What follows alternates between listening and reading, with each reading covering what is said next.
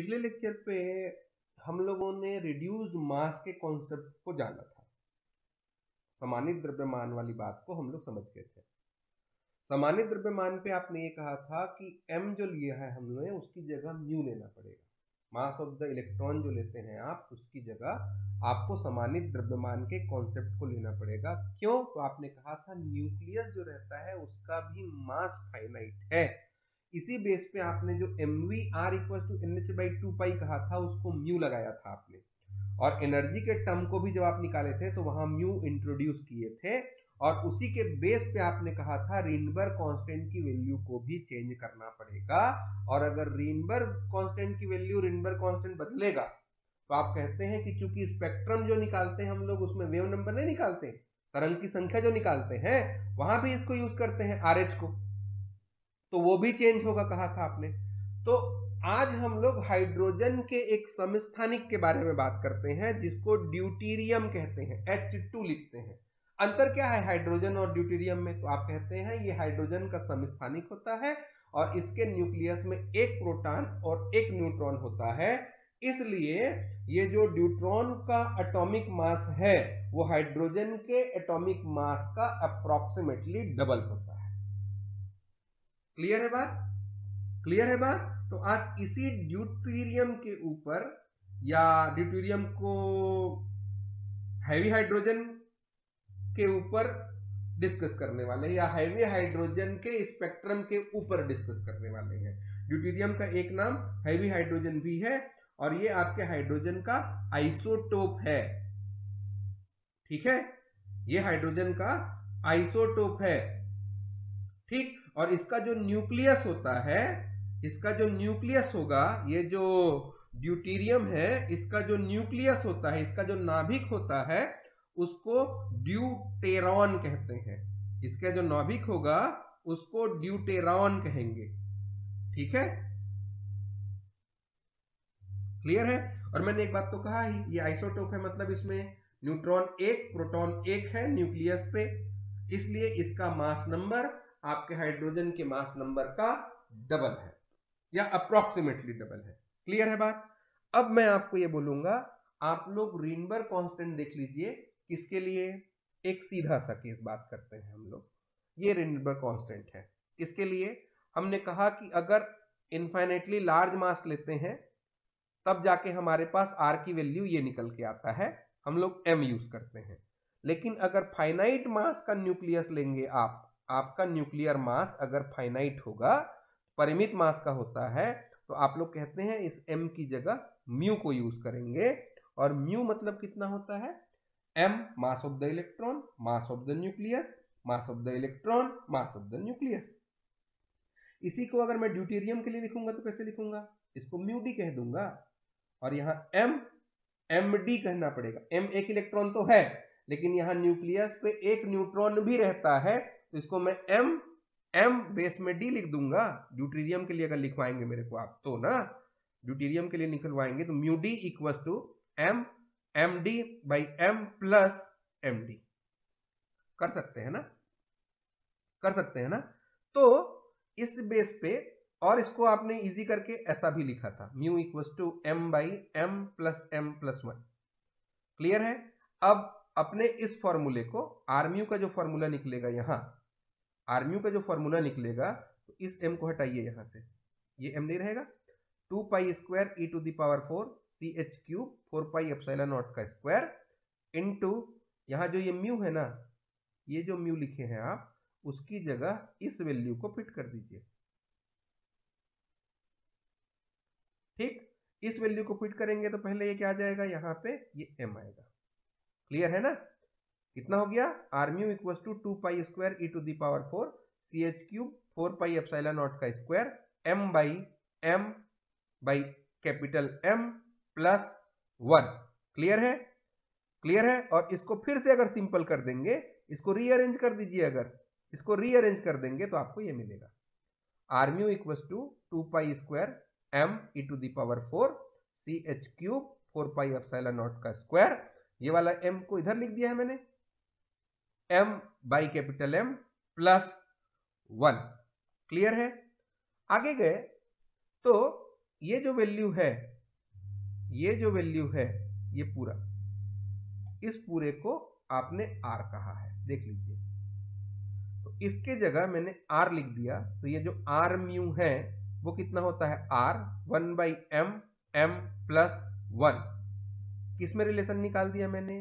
Finite nuclear mass वाले case को infinite nuclear mass वाले केस के रिडबर कांस्टेंट को रिलेट कर दिया है।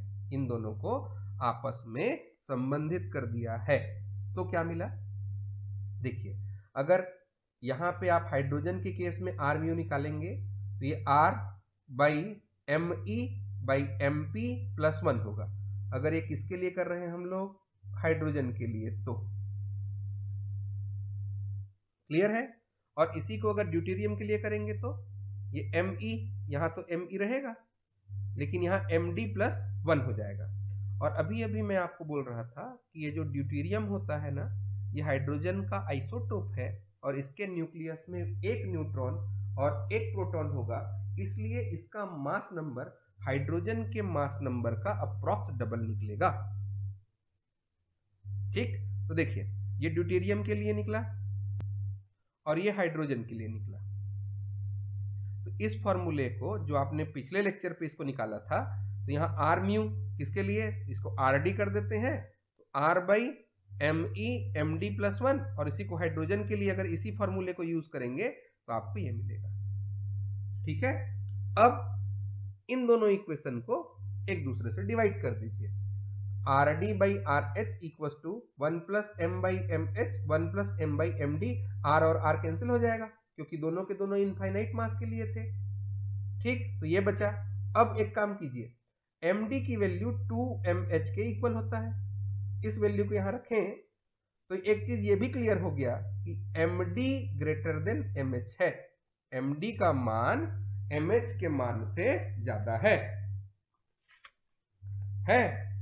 और अगर एम डी का मान एम एच से ज़्यादा है तो आप ये भी कहेंगे कि आर डी का मान भी आर एच से ज़्यादा होगा।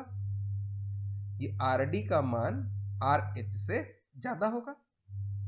क्लियर है ना? क्लियर है?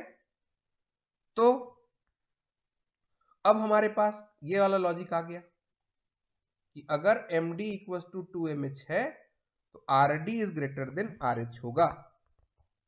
अब स्पेक्ट्रमी रेखाओं की संख्या या तरंग संख्या निकालते हैं हाइड्रोजन एटम का तो ये फॉर्मूला है। One by lambda H equal to R H, one by N one square minus one by N two square. ये फॉर्मूला आप लोग वेव नंबर बोलते हैं, तरंग की संख्या के लिए निकाले हैं। अगर इसी को मैं ड्यूटेरियम के लिए पूछूँ आपसे तो क्या बोलेंगे? भाई फॉर्मूला इसकी जगह, आर की जगह, आर लिखिएगा। ठीक है ना? आरएच की जगह आर डी लिखेंगे और इन दोनों को अगर रिलेट करें, इन दोनों को अगर डिवाइड कर दें तो क्या आ जाएगा? देखिए, अगर इसको और इसको डिवाइड करेंगे तो one by lambda H by one by lambda D होगा तो लेमडा डी ऊपर चला जाएगा तो क्या आएगा? Lambda D by R H. फिर यहाँ R H by R D और ये वाला नंबर और ये वाला number, R H by R D, दोनों के दोनों। तो एक काम करें क्या? एक काम करें क्या? वैल्यू रखने वाला केस बात करते हैं, नहीं तो ये वाला टर्म तो कैंसिल होना चाहिए ना तो इसको नहीं रखनी है फिर। तो कहने का मतलब ये भी तो कट जाएगा, अगर इसको डिवाइड कर रहे हैं तो ये वाला नंबर इस वाले नंबर से कटा। क्या बचेगा? Lambda D by lambda H equal to R H by R D इस टर्म को नहीं लिखना। Lambda D by lambda H equal to R H by R D और चूँकि आप जानते हैं कि R D is greater than R H है R D greater than R H है तो lambda D less than lambda H होगा। अगर R D greater than R H है तो आप ये कहेंगे lambda D is less than lambda H होगा। क्या मतलब है इसका?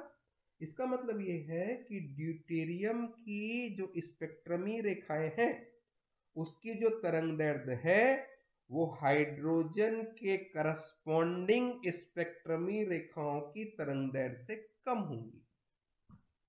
ठीक? ठीक?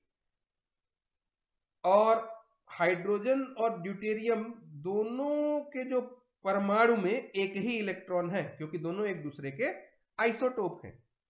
और वही एक इलेक्ट्रॉन नाभिक के चारों ओर चक्कर लगा रहा है। इसलिए एक ही इलेक्ट्रॉन होने के कारण nature of the spectrum, hydrogen और ड्यूटेरियम दोनों का सेम होगा। अंतर कहाँ पे आ रहा है? इस वेवलेंथ पे। तरंग पे।